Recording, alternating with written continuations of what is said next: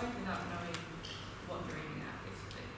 Um, I'm also going to discuss a little bit about um, problems that we found while creating our own process um, and talk about where we're going to go next. Um, first off, uh, so I've already said my name. I'm a developer. I quite like having short feedback loops and having automation that stops me from doing really stupid things.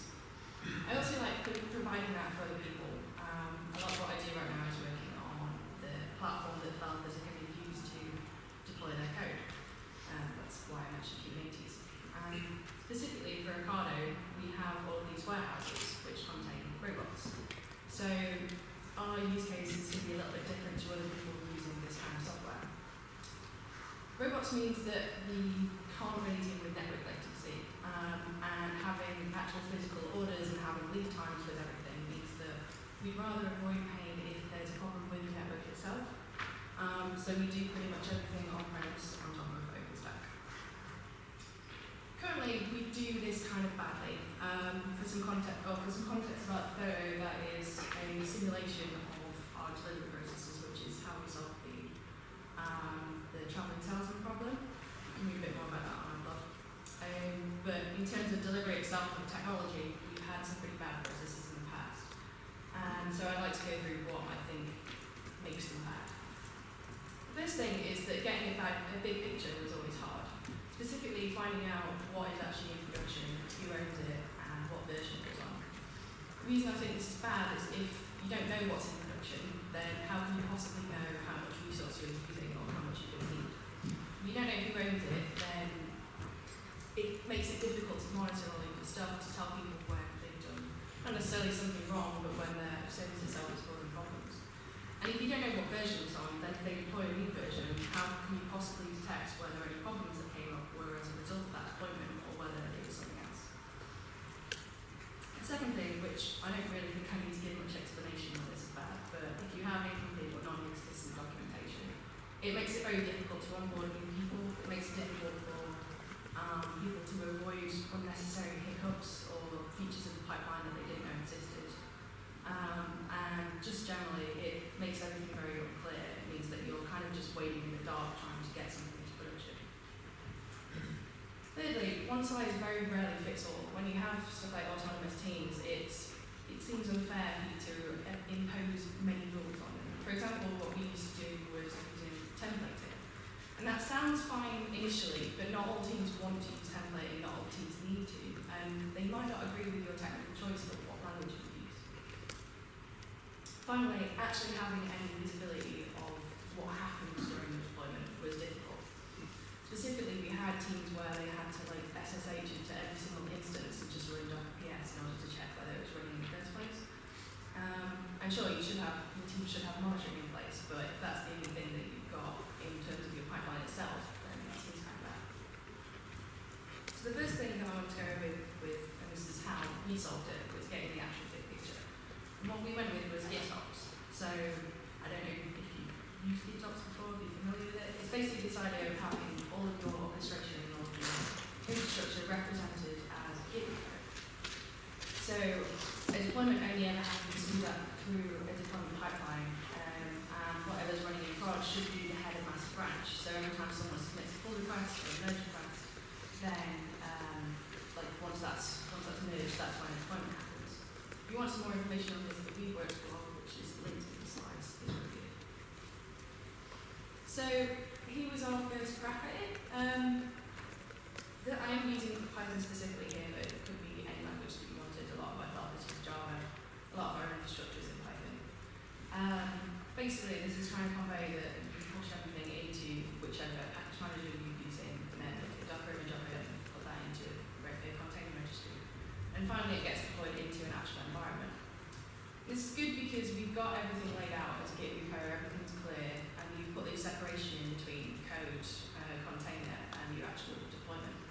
The downside of it is that we've ended up with every single app having a different repository for its environment deployment, and every single environment is going to have all these apps going into it. So you still can't really get a clear picture of what's on that particular server, what's on that particular cluster, because you've got to go through all of these different repos in order to figure it out. The other thing from a security perspective is you've got like a lot of pipelines going directly into production. Um, and this can be bad, I guess, um, partially because, well, security, but also because if you ever update that pipeline or if you change something about how it works, then you've got to change all of these repositories. So we split out basically the Kubernetes manifest from the actual environment. So everything that's specific to your deployment, like whether it's how it's laid out, um, I don't know, how you do rollbacks and stuff like that, all that goes into one repository. And anything that's specific to the environment itself, like to us using config maps and secrets, that goes into the um, environment repository. And this seems a lot better because, um, well, you've made that separation, you've no longer got all of this duplication and all, massive amount of repositories to represent one environment. Um, but it also means that you've got to manage more repositories. Um, so yeah, I'll, I'll talk a bit more about how we get to deal with that later. So documentation. Basically, just write down all the things is what we've gone with, which I think is pretty clear documentation. But um, I came up with some clear points about what how we do it in my team, how we do it how we do it in general. The first thing, which is important in the Ocado uh, context, because we used to have several different non-obvious places, is put it in one obvious place. So anything that's related to Kubernetes goes in one repository. Um, but crucially, that doesn't mean we duplicate the upstream. Anything that's not specific to our use case or specific to our pipeline, we just got we just put a link to the upstream documentation, which is pretty expansive for Kubernetes. And secondly, it's peer reviewed the same way that all of our code is peer reviewed. It makes sense to do that. Um, partially so that you can you can make sure that your information is correct, so you can make sure that um, an expert is reading it, but you can also make sure that beginners get a handle on what we're doing um, and that you've explained it in a clear way.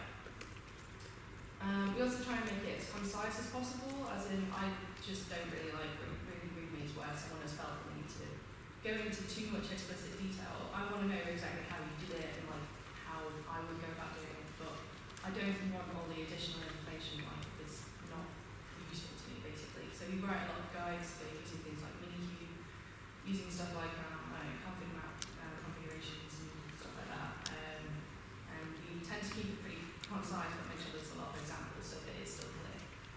And crucially, you need to update it regularly. If you add something new to your pipeline, then um, it needs to be written down somewhere, otherwise how are it uses it has to understand it and use it.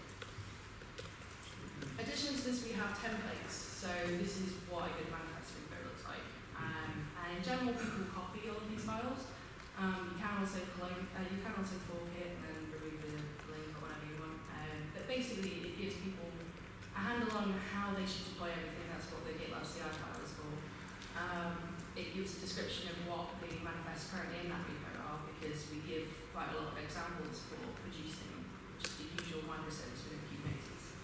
Um, but we also provide a script so that you can basically duplicate what will happen when a deploy happens, but deploy to Minikube.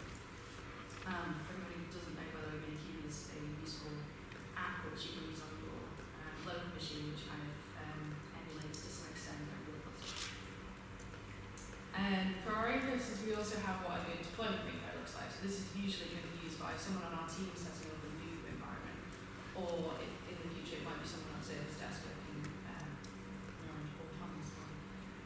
Um, and that just gives you a picture of what secrets every user is going to need, um, what services we provide at a base level, um, that tries to avoid of anything that's been put in other repos that you don't need. Um, we also give a very clear description of where you go to pick up secrets, because there's things like and stuff where it might not be obvious um, unless you've been working there for a while. So the third thing that I mentioned was about um, one size doesn't always fit all. So I summarised this to avoid the rules. That makes it a bit difficult to give you a description of how to do that.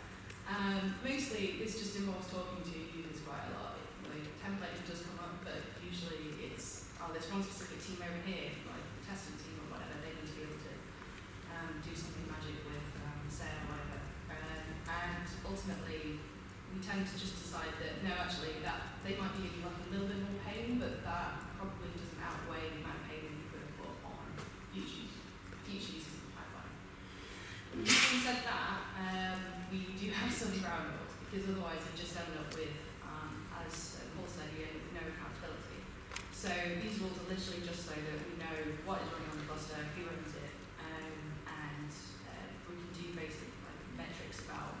choose lots of different tubes to use. Finally, did that actually work? Um, so, like I said earlier, this to some extent comes down to your monitoring. So, at a platform level, we have automated Slack integrations for most of our pipelines. Um, that means people can tell when it started and start when someone else has triggered a pipeline. Um, we also um, have, in one obvious place I mentioned earlier, we have all our dashboards documented. So, if people do want to use something Kubernetes specific, then we can look at that. Um, we also have end-to-end tests running, which tend to highlight if we've, say, if we've built a Kubernetes version, like we notice more readily issues. This has been useful because we have a different use case for most people. We are also running it on top of OpenStack, and that tends to cause issues that the Kubernetes community doesn't always um, notice. So we've raised quite a lot of books about that, and it means that users um, on our specific clusters are aware of it as, as quickly as possible. We also provide quite a lot of different access, well, three different access levels. Um, so we have role-based access control um, turned on on all of our clusters. Um, and initially, all users will get read-only access, which generally that's enough. They can check um, the status of their pods, the deployments, they can look at logs and stuff like that. Um, but sometimes they want a little bit more than that. Sometimes they want to like, do an exec or something on, on a specific pod to check why it's going in a particular way. Um, so that's when we tend to give them a developer access. Um, and finally, we have admin access, which is disabled, but we have like, clear-cut instructions of how to enable it. Generally, we apply the rule that on your head be it if you do that though, because um, we only have these like three levels of access. Um, there's no specific accounts for different people just yet. Um, it's something we're working on, but it's going to take quite a while to get that ready. Um, for all this, there's been some specific pain points that I wanted to talk about. The first thing was what I mentioned earlier about trying to manage all the different repositories. So I thought I'd take you through um, how you fix the bug in this particular workflow. The first thing we'd start with is the actual code repo. You go a branch to the usual merge request and then tag it once it's released, and that gets pushed up to PyPI in this case with the Python. Um, and here we've given you a brief description of what exactly we've done. Um, it's probably enough for you to be able to review. Then you move on to the Docker repo- repository where you've got to update the tag basically. Um, and by this point, I'm already starting to get a little bit bored of writing merge requests. And then you get to the manifest repo where you've got to do the same thing again. And again. Um, and that gets a little bit boring after a while. Um, it's something that obviously we could fix that using latest tag, but that would be kind of bad. Um, there's various other things that we could be doing here, but um, what we went with, I think we has a very similar um, kind of tool that you can use. This one fit our use case, so we have a reference updater bot which scans all of our repositories for um, changes basically. So it'll pick up a reference to um, a Docker, Docker image or a Rumble manifest or whatever, and then it'll go off and check whichever um, component you push that into um, for whether there's an update to it, submit a merge request. And the good thing about this is how I mentioned earlier how when I tend to write requests by the end, so I've just not given a description of everything. This will also automatically generate you a change log, um, so that means it's a lot clearer for people who are trying to review um, what actually changed without going back backwards and forwards to different repositories. The second thing was validation. So um, I've not worked with Kubernetes for a long time. I've not worked with containers for a very long time. Um, and after about two months working at Ocado, I managed to break one of our pipelines because we didn't have any validation proving that the manifests were actually valid. Um, so in this case, it was, I don't know, like a spec key out of place or something like that. Um, and you can do that really easily with Kubernetes because a lot of the YAML is very complicated. So what we did was we put in all of our pipelines this validation step, which would essentially apply all of the manifests that you've got in that repo against a fake version of the API server. So it's literally just an etcd container pointing at a, an API server container pointing at etcd. Um, and that's been pretty useful because it stops me from doing stupid things like I mentioned in the beginning. Um, but from a reviewer perspective, it means that you've got some certainty that it's not going to break anything, or at least it's not going to break your pipeline. Um, the third thing we had to manage was tidying up. So in GitOps, it's kind of easy to create a cluster. It's, easy to add stuff, and just do merge request. Um, and GitLab specifically has like a revert request, which means that rollbacks are really easy as well. However, it wasn't so easy doing delete because, um, I mean, like the kubectl apply command can't really figure out that you deleted that file. If it's not there, it's just not there, it just doesn't get an update. So what we did specifically was we applied a label which was the timestamp of the current deployment and then at the end of the deployment check whether there's anything with the key but the value is different. So that indicates that it was deployed on a previous step but it's not being deployed now so people probably deleted it. Um, there's two key exceptions I guess we don't do with this which is um, persistent volume claims and namespaces because this has been kind of an experimental feature and it's kind of destructive, so we didn't want to mess any of at all. Um, finally, we get to testing the pipeline. So when I actually put in the delete feature, I managed to delete half of the cluster because I screwed up. Um, and that was kind of a key point where I think before we started writing that, said, oh, we should put some tests in this. You know, we should make it so that we're not just testing your pipeline scripts over and over again on actual clusters that people are using. Um, so the fact that we managed to delete half the cluster meant that we decided we needed tests. Um, and that was an interesting week because I did uh, test-driven bash development, which was kind of hard. Uh, but I think once, you, once you've got the right tooling, it's kind of fine. Um, and it's worked a lot better because we have a lot of people on our team, myself included, that aren't as experienced in writing shell scripts and and stuff. And it means that you've got more certainty that your syntax is correct and that it's not going to mess anything up catastrophically. So what's next? Um, I think the important thing to mention is that when we started this process, we'd not really got anyone using the clusters. It was specifically our team that was putting this together and our team that was figuring out that, oh, this is kind of painful, let's do this instead. Um, but now we've got like two teams starting to migrate um, all of our tools and, and gradually we'll get more and more teams working on that. And it's good because it means that um, you get to talk to the, you get to talk to developers a lot more. You get to see what what is actually causing them pain. Because while I'll use it and be sort of okay with it because I wrote a lot of it, they'll use it and go like, no, actually this this bit doesn't work, or you know I've managed to break this, or can we have this? And generally we'll say yes. We'll generally discuss it first because we want to make sure, like I said earlier, about avoiding rules. We need to make sure that whatever you're adding to your pipeline doesn't end up